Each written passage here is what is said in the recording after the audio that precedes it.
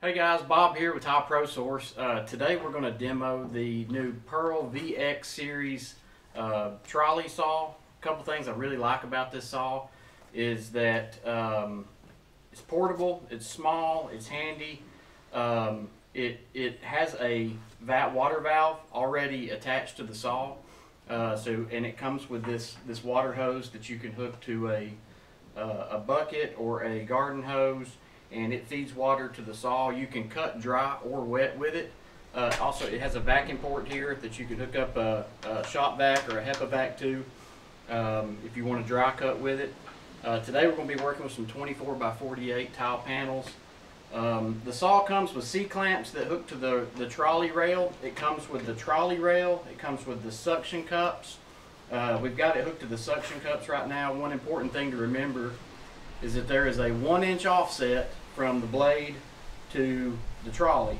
So if you need to make a 15 and a half inch cut, you need to measure and set your rail, the edge of your rail at 14 and a half inches and it'll get, you'll get a 15 and a half inch cut. So there's exactly a one inch offset. Um, so today we're going to install some 24 by 48 large format tile with it. Uh, this saw will bevel, so we're going to do some outside corners with it uh, and some straight cuts and see how it does.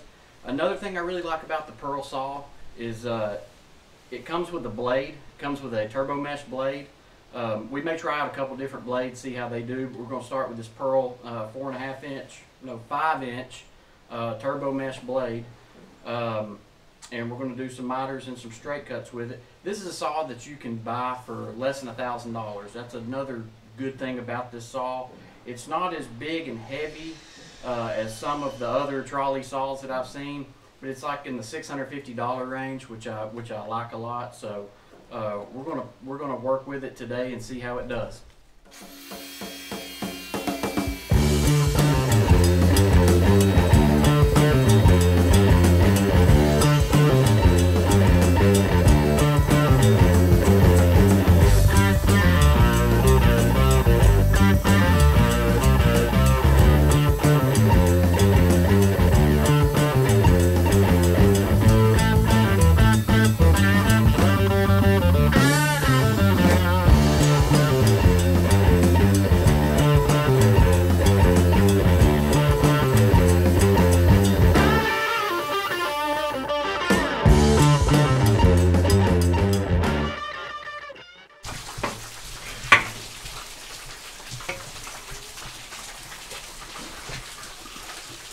Little chip in there. We'll clean that up with that monolith Fleximont pad.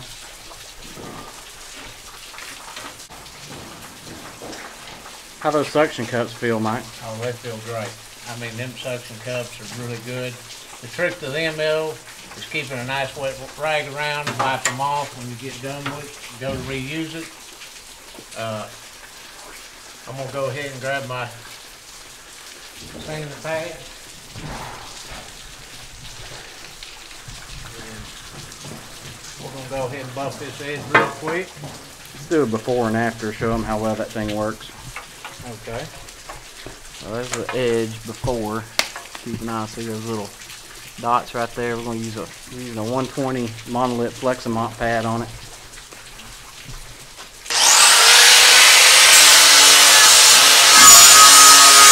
Got to keep it moving.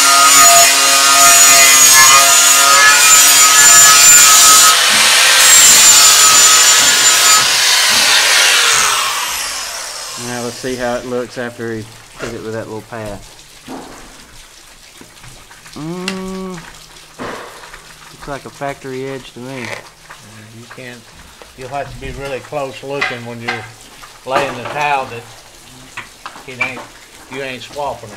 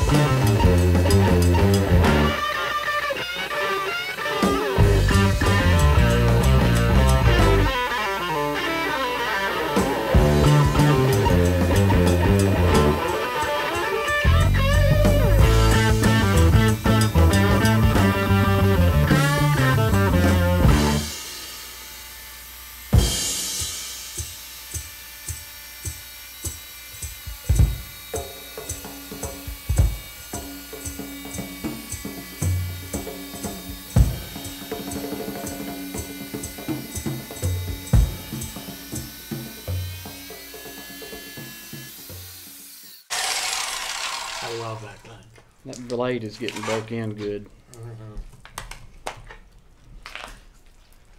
Ain't many pieces of towels you can take and get a sliver like that cut off of it. That's, that's awesome. It's all is well worth its weight in gold, I'll just be honest with. You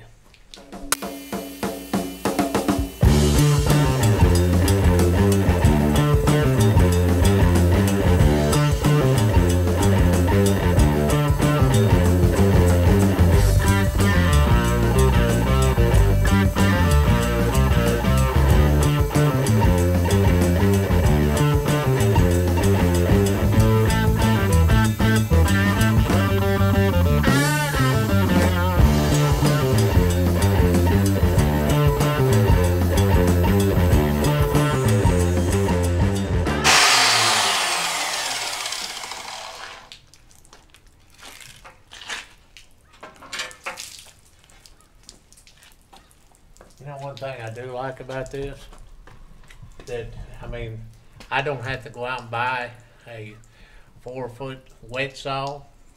Uh, I don't have to, you know, I don't have to spend two thousand dollars on a four foot wet saw. You know, I'm, I'm spending six hundred, six fifty, something like that for something that I can do miters, I can do multiple items. I mean, and what I'm gonna thinking about here in a little bit, we're gonna do some miters just to see how well it does do miters. So, all in all, well worth my money I spent on it. Uh, very tickled with it. All right, guys, we're gonna try a new blade out. We uh, kicked the VX series trolley saw over onto a, a 45 degree to cut a miter with for the front of a bench. The P4 blade did okay. We were the the cut was a little bit too jagged though, uh, and it was a little bit slow. It's a turbo mesh blade. It's made to cut a little faster. It worked really well in the straight cuts. We're going to try switching it up to a blade that Mark Smith at Helix Tools sent me last week. It is the K-Scribe blade from Helix. It's actually uh, it was designed by Ken Ballin and Mark to cut um, scribe cuts with and to scribe and cut curves and uh, cut around things with. But it's got a reinforced core um, and it's got a thin continuous rim. And we're going to try it on this pearl saw and see how it does on a miter. Um, I want to thank Mark for sending me this blade. That's something we were excited to try out today on this this pearl saw. So let's check it out and see how it does.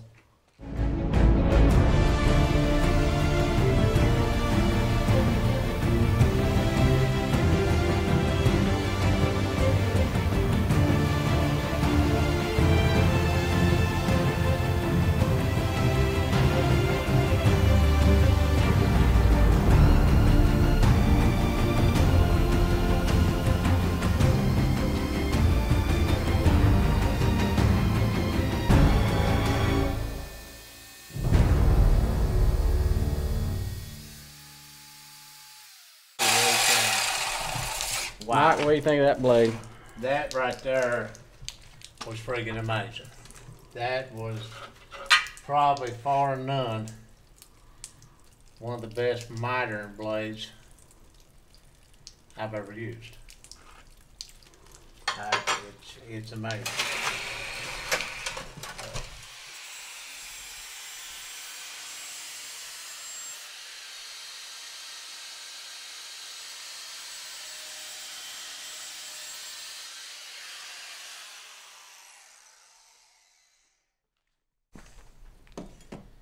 I would call that a well mitered edge right there. And keep in mind, we're working with 7 16th inch thick porcelain. This isn't gauge panels. This isn't this it's this this isn't thin tile. This is thick, thick, hard tile. Alright. Well, we did so good on that last miter, we're gonna go ahead and try to finish this thing up. What I've done here is I laid another piece of towel out here to, uh, just as a, to keep this thing from, like if I didn't have this towel here, this sags down in the back, I wanna keep a nice flat straight cut the whole way across. Uh, and uh, that's why I put that in there.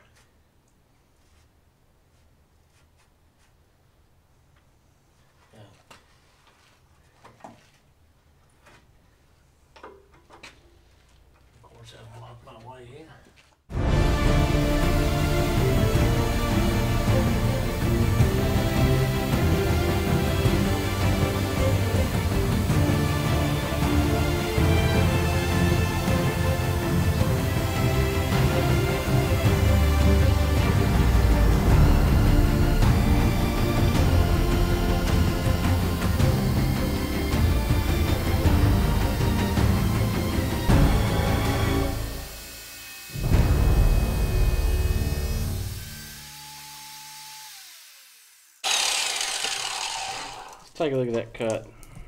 That's. I mean, look at that. That's friggin' amazing. That's bad to the bone. It needs doctored up a little bit with the Flexamont pad. We're gonna hit it and show you what it looks like when we're done. Suction cups on this thing is just absolutely amazing. They, they actually hold a little too good sometimes.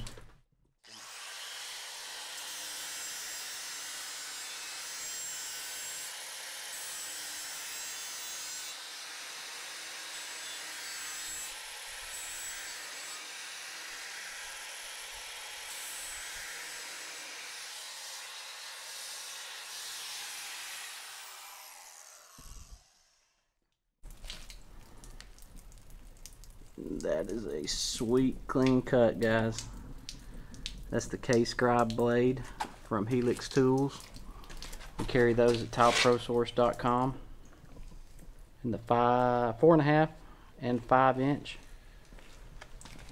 So don't get any better than that.